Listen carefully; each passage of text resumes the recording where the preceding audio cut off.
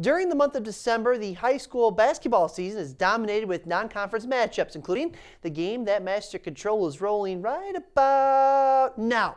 The Menominee Maroons travel to West Ishpeming to pay the Westwood Patriots a visit. Towards the end of the first quarter, Westwood Shayna Calgary throws an absolute perfect pass down low to Emily Carlson, who lays it up and lays it in. The Pats led by three after one.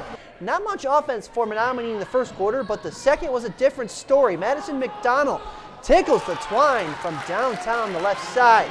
A little later, Morgan Roman kicks it over to Paige Barrett for three, and that's going to be bad news for the Pats as Barrett knocks it down. Menominee not done yet either from downtown. McDonald from the right wing this time, and she's going to get a little help from the rim as well as the glass for three more points.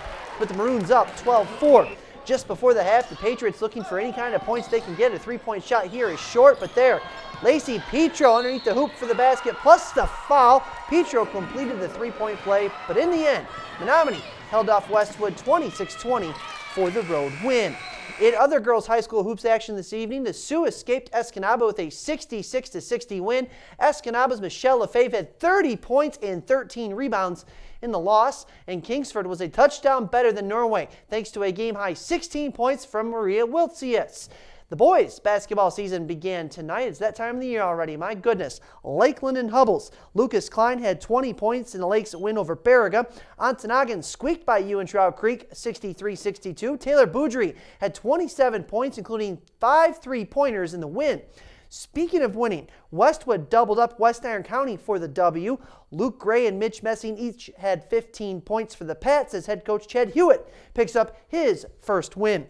Houghton behind 25 points from Nate Gockenbach as the Gremlins made 11 threes in the game in their victory over at Northland Pines. In other scores, it was Calumet 50, Hancock 42. Carney-Nadeau defeated Rapid River at 48-24.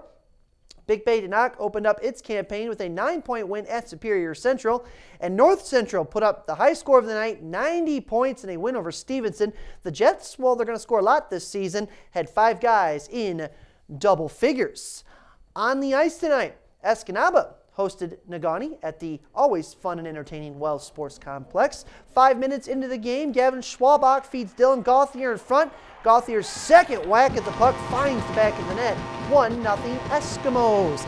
Later in the first, Escanaba on a power play. Calvin Pinar puts a wrist shot on goal, and that gets by Anthony Moy on the glove side to make it 2-0 Eski.